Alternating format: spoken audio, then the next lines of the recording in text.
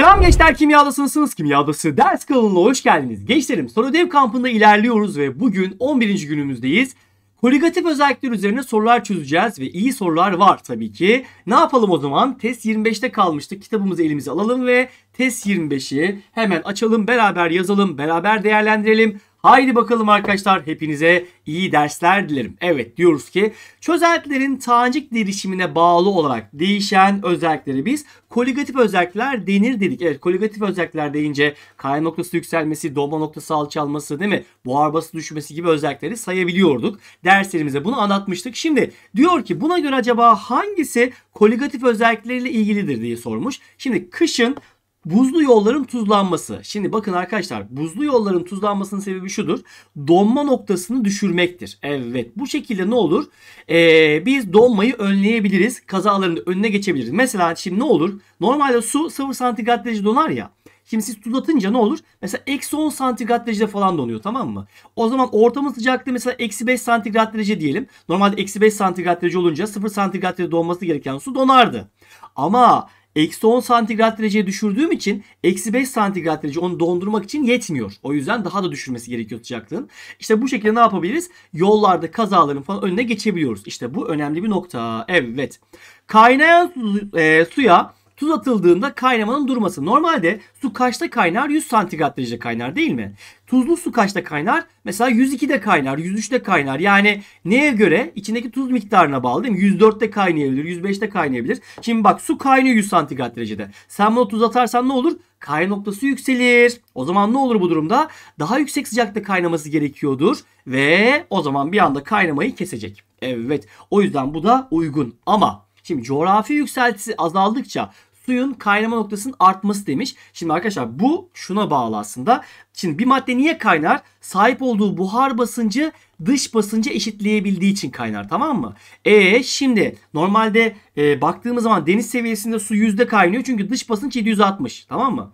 Ama tepelere doğru çıkarsak dış basınç azalıyor. Mesela atıyorum dış basınç 700 oldu. O zaman su buradaki dış basınca atıyorum mesela 95 santigrat derecede falan ulaşabilirse o zaman o su ne yapar? 95'te falan kaynar. O yüzden bu ona yani şeye bağlı değil, derişime bağlı değil. O madde saf suda olsa, başka bir maddede olsa gene onun kayma noktası azalacaktı. O yüzden yani kayma noktası değişecekti diyebiliriz. O yüzden bu olay e, işte derişime bağlı değil. O yüzden cevap da bu durumda ne oluyor? D seçeneği oluyor deriz. Geldim 2. Şimdi demiş ki sodyum karbonat, demir karbonat ve alüminyum karbonat maddeleri varmış. Burada karbonat iyon derişimleri eşitmiş. Bak eşit diyor.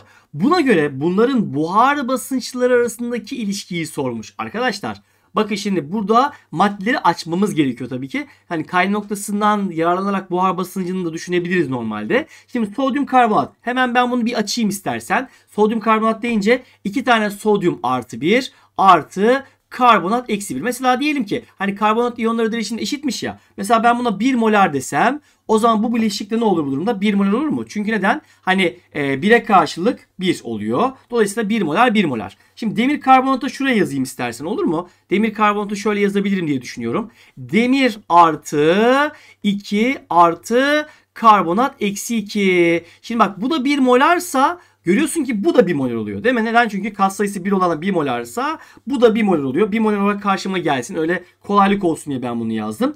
Diğer maddemiz ama yalnız alüminyum karbonat. Bak şunu da şuraya yazayım. Alüminyum karbonat yazarsak burada 2 tane alüminyum artı 3 artı 3 tane karbonat ya. Karbonat iyonları derişimi eşitse eğer bu durumda ne olur bu durumda? Bak burasına 1 molar dersek 3'e karşılık 1 molarsa 1'e karşılık bu durumda 1 bölü 3 molar karbonat vardır diye görebiliriz. Şimdi ben burada mesela bunların kaymaklarını kıyaslamış olsaydım şöyle derdim. Delta T eşittir. K çarpı I çarpı M. K bizim sabit sayımız. İ'miz iyon sayısı M de molar derişim gibi düşünebilirsiniz. Şimdi K zaten sabit sayı gitsin. Mesela birinci maddeyi düşünelim. Birinci maddenin derişimine kadar 1 molar. Kaç tane iyon var? 2, 2 tane sodyum bir tane karbonat 3. Yani e, i'si 3 iyon derişimi de 1. Bak böyle ne olur 3K'lık bir değer görebiliyorsunuz. Bu kimde? Bu sodyum karbonatta böyle bir şey var. Pekala. Diğer maddemiz nedir? O da demir karbonat. Hemen demir karbonatı düşünürseniz o da hani K çarpı I çarpı M'den düşünürseniz delta T'yi zaten K'lar birbirini götürecek. K'yı düşünmene gerek yok. Bak kaç tane iyon var? Bir tane demir, bir tane karbon. Toplam 2 iyon var. 2 çarpı derişimde 1 olduğuna göre bak buradan ne olur? 2 gelir. Bak bundan yakalayabiliyorsun. Peki aynı mantıkla diğer maddemiz de alüminyum karbonat. Alüminyum karbonata baktığımız zaman bu da delta T eşittir. K çarpı I çarpı M'den yazarsak K'lar zaten ortak gidiyor. Kaç tane iyon var? 2 tane alüminyum, 3 tane karbonat. Bak 3 e, artı 2'den 5 iyon oluyor. 5 çarpı molar derişimde bak neymiş? 1 bölü 3 görüyorsun ki. Evet. Çarparsak bak burada 5 bölü 3. E bu durumda ne kadar büyükse bu değer hani çarptıklarımız o kadar kay noktası yükselir ve buhar basıncı da azalır. Çünkü kay noktası ile buhar basıncı ters orantılı. Mesela ben burada kay noktalarını sorsaydım en büyük 3'tü. Yani 3. 3 değeri daha büyük. Sonra 2. Sonra 5 bölü 3 daha büyük oluyor. Yani bu durumda şöyle olurdu. Kay noktalarını kıyaslarsak 1 büyüktür 2, 2 büyüktür 3 olacaktı. Ama buhar basınçlarını kıyaslasam tam tersi. Yani 3 büyüktür 2, 2 büyüktür 1 olacaktır. Bakıyorum cevaplara. Evet kim gelir? E seçeneği gelir ve ben burada E'yi hemen işaretlerim. Üçüncü sorudayız. Şimdi üçüncü soruya baktığımız zaman 27 santigrat derecede 90 gram suda 36 gram şeker çözülerek hazırlanan bir çözeltimiz varmış. Bunun buhar basıncı nedir diye sormuş. Bak şimdi şöyle bir şey var. Çözeltinin buhar basıncını biz nasıl yazıyorduk? Şöyle katı çözündüğünde sıvının saf haldeki buhar basıncı çarpı x sıvı diyorduk. Peki x sıvı ne? Onun mol kesri. Yani x sıvı dediğimiz şey sıvının mol sayısı bölü toplam mol sayısı değil miydi? Evet bunu böyle yazabiliriz. Peki sıvının mol sayısını ben nasıl bulabilirim? 90 gram su diyor zaten. O zaman suyun mol sayısı kütlesi 90 eması da zaten 18 olursa 5 mol gelmez mi? Pekala. Hemen ben burada 36 gram şekerin de mol sayısını bulayım. Onun da kütlesi 36 eması da bak burada verilmiş. 180 değil mi?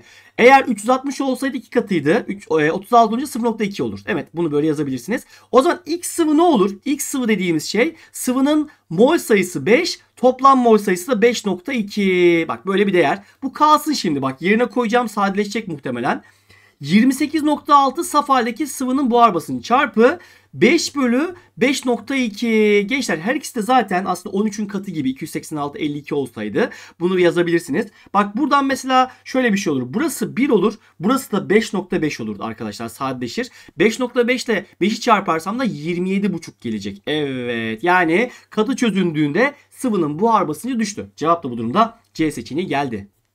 Geldik 4'e. Şimdi demiş ki 40 gram kalsiyum bromür katısı varmış. Bunun bir miktar suda çözünmesiyle bir çözelti oluşuyormuş. Bu bir atmosfer basınçta 101.56'da kaynadığına göre acaba suyun kütlesi kaç gramdır diye bize sormuş. Nasıl yapacağız? Bak normalde 1 atm dış basınçta su ne de kaynıyor?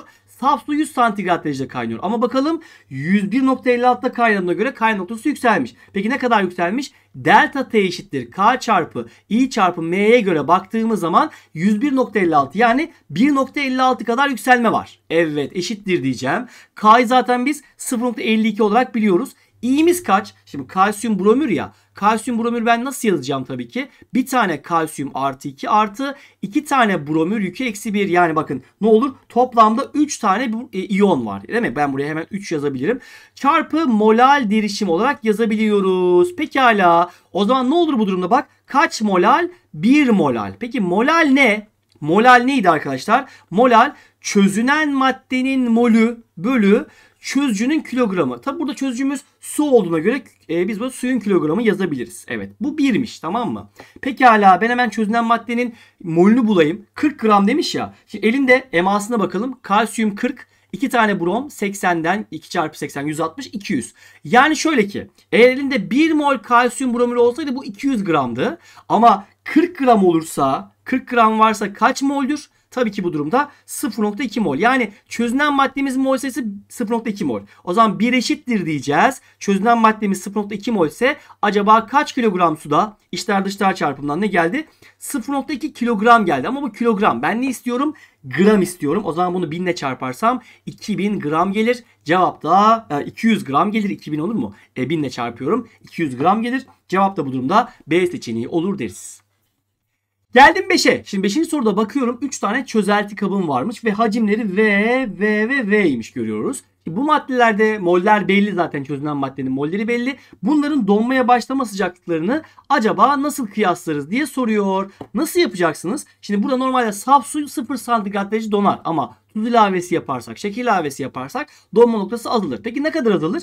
Delta T eşittir K çarpı I çarpı M kadar azalır. Bak bunu bilelim tamam mı? Şimdi burada biz KNO3'e bakalım. KNO3'ü izlediğim zaman bak K artı ve NO3 eksi 1 şeklinde. I değeri nedir bakın bunun için? I değeri 2. Neden? Bak bir tane potasyum var bir tane nitrat var. I değeri 2. Aynı mantıkla şekere baktığınız zaman C6 H12 O6 diye bakarsak ama bu moleküler çözünür. C6 H12 O6 şeklinde. Bunun i değeri 1. Bak bir tane burada tanecik var. Devam ediyorum. Alüminyum sülfatı yazıyorum şimdi. Alüminyum sülfatı yazdığımda burada nasıl olacaktır diye incelediğinde 2 tane alüminyum yükü artı 3 artı 3 tane sülfat yükü eksi 2. Bak nedir burada bizim iyon sayımız? 2 artı 3'ten toplam iyon sayımız bizim 5'tir. Bak bunu yazdık tamam mı? Pekala ben burada şimdi KNO3'ü düşünürsem. KNO3'te tabii ki yazalım hemen. K çarpı i'miz zaten 2'ymiş. Peki ben burada molal derişim bulacağım ama arkadaşlar molal derişim deyince kıyaslama sorularında burada molar da kullanabilirsiniz bu arada. Hani m eşittir n bölü v'den düşünelim. Her birinin hacmi eşitmiş. Bak hacimler birer litre olursa mesela mol sayısı neyse derişimde olur. Mesela o zaman KNO3 için 0.2 mol demiş. 0.2 molar diyebilirsiniz. O zaman bak burada ne olur? 0.4K'lık bir düşüş vardır burada delta T'de. Peki devam ediyor. Normalde sıfırdır aslında. Yani eksi 0.4K'da e, donacaktır. Peki aynı mantıkla şekere bakalım. Şeker C6H12O6 değil mi? O da K çarpı i'miz zaten 1'di. Bak 0.3 mol ise 0.3 molar diye kabul edelim. O da ne olur? 0.3K'da Evet o kadar indirecektir donma noktasını. Peki diğerine bakalım. O da alüminyum sülfat demiş ya. Alüminyum sülfata baktığımız zaman K çarpı i'miz 5 nedir? 0.1. Evet yani 0.5K. Yani ne kadar büyükse o kadar düşürürdür bu. O zaman donma noktası en büyük kim olacak? En büyük bu durumda ikinci çözelti olmuş olacak. Sonra 1 sonra da e, tabii ki 3 olacaktır. Bakıyorum şimdi cevapları arkadaşlar. İncelediğim zaman B şıkkını ben burada gördüm ve B'yi işaretlerim. Geldim 6'ya. Şimdi 6. soruya baktığımız zaman demiş ki 0.2 mol çinko nitrat tuzuyla hazırlanan 100 mililitrelik bir çözeltimiz varmış. Bu çözeltinin 1 atm dış basınçta kaynamaya başlama sıcaklığı 100 artı 3A oluyormuş. Pekala diyor ki şimdi aynı şartlarda 0.1 mol KBr ve 0.2 mol alüminyum klorür tuzlarının tamamen çözülmesiyle hazırlanan 200 mililitre çözeltimizin kaynamaya başlama sıcaklığı ne olur diye sormuş. Şimdi kıyaslama sorusu gene. Elinde ne var? Çinko nitrat var arkadaşlar. Çinko nitrat normalde bir tuzdur ve ortama çinko artı 2 ve 2 tane nitrat eksi 1 iyonunu verir. Bak Burada ne yapıyor? Normalde su aslında 100 santigrat derecede kaynar. Ama ne zaman kaynamış? Bu çözelti sayesinde, bu çözünen sayesinde 100 artı 3 A'da kaynamış. O zaman delta T eşittir. K çarpı e, i çarpı m yazıyoruz ya. O zaman delta t'miz bizim burada ne olur? 3a olur mu? Evet. K çarpı i'miz zaten bak kaç iyon var? Bir tane çinko, iki tane nitrat. Toplamda 3 tane iyon var. Peki benim burada aslında molar derişim kullanmam lazım ama böyle kıyaslama soruna molar da kullanabiliriz. Yani M eşittir N bölü V formülden derişimi, molar derişimi bulalım. Bak 0.2 mol evet görüyorsun ki ve 100 mililitre ama litre böleceksiniz. Yani 1'e böldüğünüz zaman 0.2 molü 0.1'e böldüğünüz zaman e, ne olur arkadaşlar? 2 molar olur. Evet yani bunu böyle yazdığımda arkadaşlar bak ne gördünüz? 3A eşittir 6K. Böyle bir bağıntımız var tamam mı? Şimdi bu bağıntı kalsın kenarda. Şimdi ben kıyaslayacağım. Kimle kıyaslayacağım? Şu soruyu bir daha çözer, e, silelim isterseniz. Diyor ki benim elimde 0.1 mol KBR var. Şimdi KBR'yi hemen düşünelim. KBR K artı ve BR eksi 1. Peki bunun derişim ne kadar? 0.1 mol ya. E, hacmi böleceğiz. 0.2'ye böleceğiz tabii ki. 0.5 molar KBR var. O zaman şimdi bak buradaki delta T'miz ne olur? Delta T KBR için K çarpı I çarpı M mi? Evet doğru. 0.5 molar vermişiz ama K zaten K olarak kalsın. İ'miz kaç? İ bir tane potasyum, bir tane bromür. İ'miz 2. 0.5 Evet çarparsak bak buradan 1K gelir mi? Evet. Ama bununla beraber bir şey daha yapıyorum. Nedir o? O yaptığım. O da şu. E, alüminyum klorür. Alüminyum klorüre baktığımız zaman aynı çözelti içerisinde bir de alüminyum klorür tuzu varmış. Alüminyum artı 3 artı 3 tane klor eksi 1 yazıyoruz ya. Peki ne yazacağız burada baktığında? Arkadaşlar şimdi bakın hemen bunun derişimini bulalım. 0.2 mol ama hacmi 0.2 olduğuna göre bölersek 1 molar olur mu? Evet görüyorsunuz 1 molar. Delta T eşittir. K çarpı I çarpı M'den yerine koyalım. K zaten sabit bir sayımız. İ'miz bak nedir? bir tane alüminyum, 3 tane klordan toplam 4 iyon çarpı bir de derişimimiz de 1. Yani 4K. Arkadaşlar bakın ne oldu bu durumda? Görüyor musunuz? 1 artı 4K yani toplamda 5K'lık bir artış var değil mi? Evet 5K var. Şimdi o zaman şöyle bir şey var ya benim elimde ne vardı görüyorsun ki 3A eşittir 6K idi. O zaman 5K olursa bu durumda 5K ne olur? 5K bu durumda bunun yarısı yani yani 6K 3A ise 5K da bu durumda 2.5A olmaz mı? Demek ki o zaman ne yapacak? Kaynama noktası 100 olanı bu kadar artıracak. Yani 100 artı 2,5 A kadar artmış olacaktır. Cevap olarak bakıyorum ki cevap hemen burada C şık olarak karşıma geldi. Güzel soru. 7'deyiz. Şimdi 7. soruya baktığımız zaman bir tane U borusu varmış. Evet bir tarafta saf su var bir tarafta tuzlu su var. Yarı geçirgen zar diyor ya. Yarı geçirgen zardan kim geçebilir? Tabii ki buradan su geçer. Tamam mı? Suyun geçebildiği bir ortam düşüneceksiniz. Şimdi normalde aslında seviyeler eşitmiş. Fakat su geçince ne olur bu durumda? Yani şöyle ki aslında su nasıl geçecek?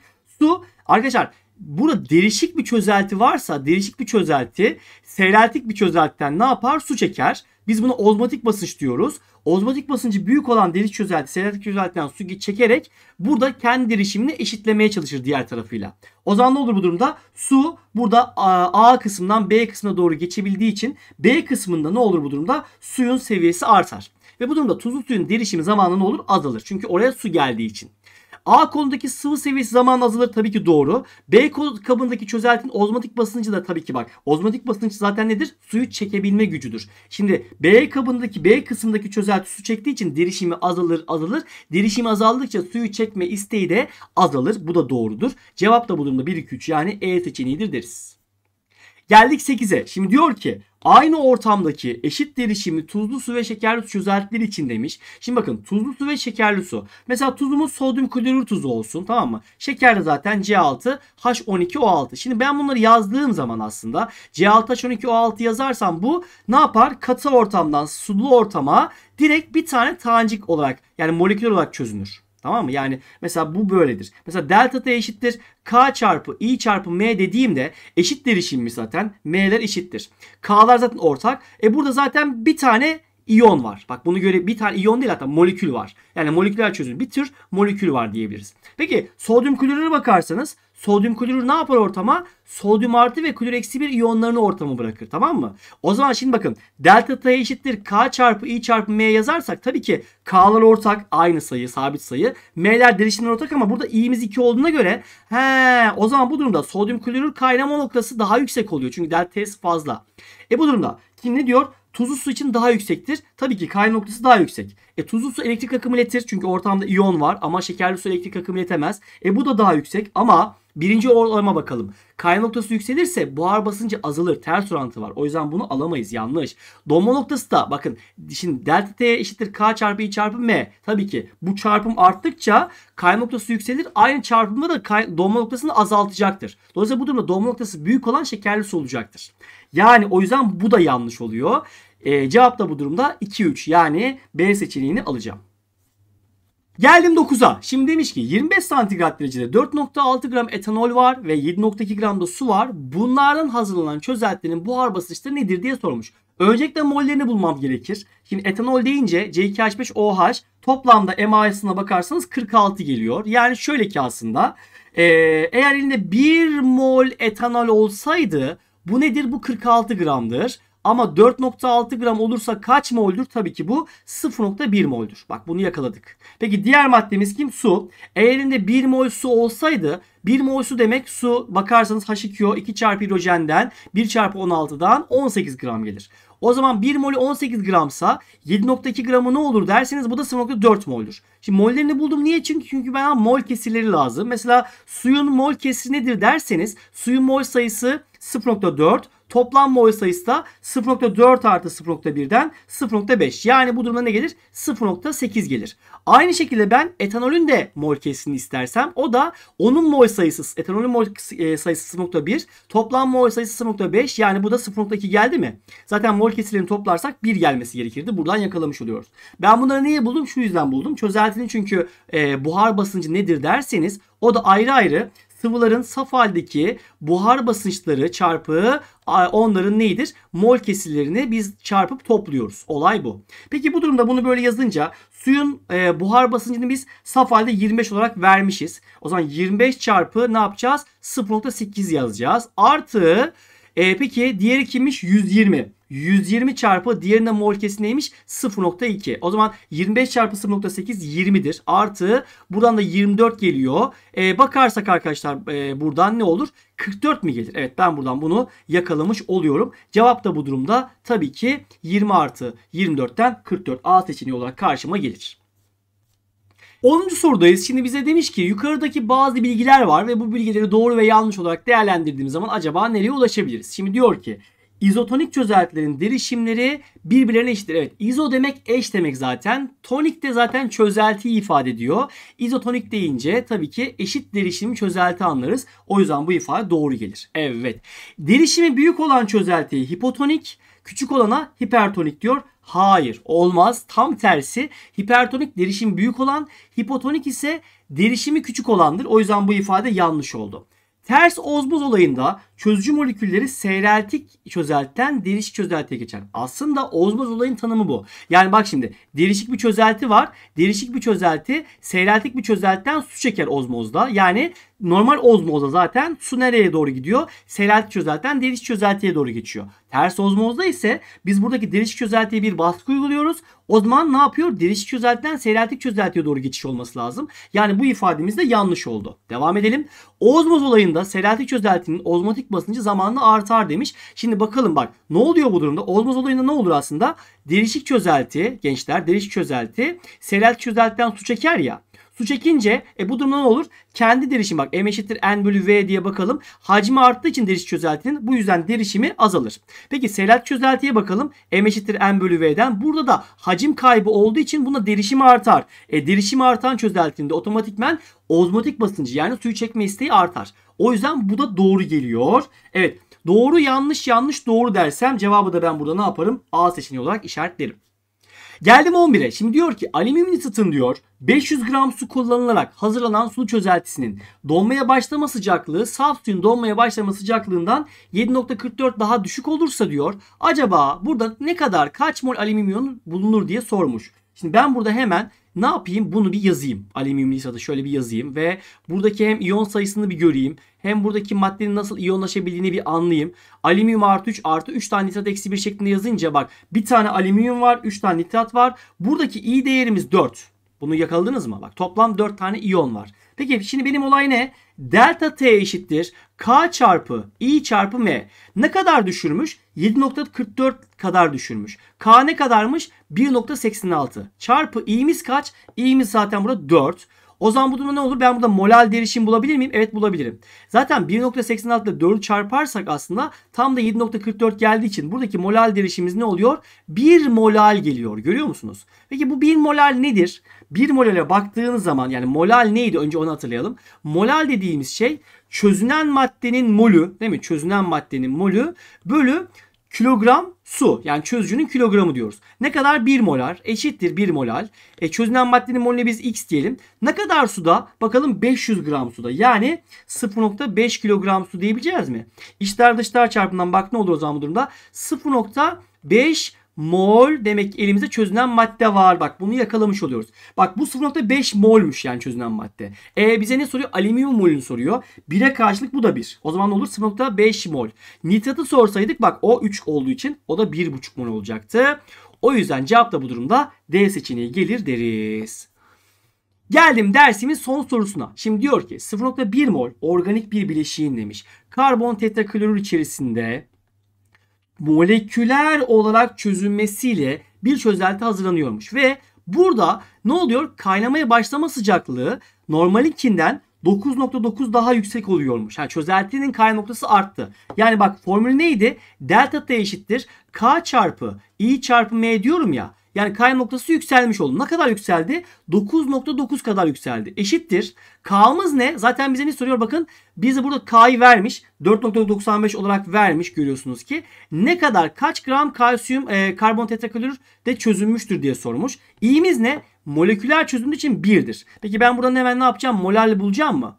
Molal ne oluyor? Bak 4.95 bunun yarısı. Yani biz aslında 2 molal olarak buluyoruz. Peki molal neydi hatırlayalım. Molal arkadaşlar çözünen maddenin molü bölü tabii ki çözücünün kilogramı. Çözücümüz kim? Karbon tetraklorür. Zaten bize bunu soruyor. Peki ne kadar? 2 molal. Peki çözünen maddenin molü ne? 0.1 mol. Evet. Pekala. O zaman tabii ki kaç gram e, kaç kilogram olacaktır? E, 0.1'i kaça bölersem 2 gelir? Tabii ki 0.05 ama bu kilogram yalnız. Ben bunu 1000 ile çarparsam ne olur? 50 gram gelir. Yani 50 gramlık karbon tetraklorür çözücüsü varsa işte istediğimize ulaşabiliriz. Cevap da bu durumda B seçeneği oluyor deriz arkadaşlar. Evet arkadaşlar çok iyi sorular vardı. Dikkat isteyen sorular vardı. Elimden geldiğince çözmeye çalıştım. İnşallah anlamışsınızdır. Şimdi burayı bitirdik ama ben size bir tane daha ödev vermek istiyorum. Ne yapacaksınız? Şöyle ki test 25 bitti ya. Test 26'yı siz ben bunu yükleyene kadar hemen çözün, çözmeye çalışın, çözdürün arkadaşlar yapamadıklarınızı falan filan. Veya ben zaten çözeceğim birazdan. Onları da izlersiniz ve bu şekilde bence ilerlersek olayı çok iyi bir hale getireceğimi düşünüyorum gençler. Hadi bakalım kendinize iyi bakın. Hedefimiz full.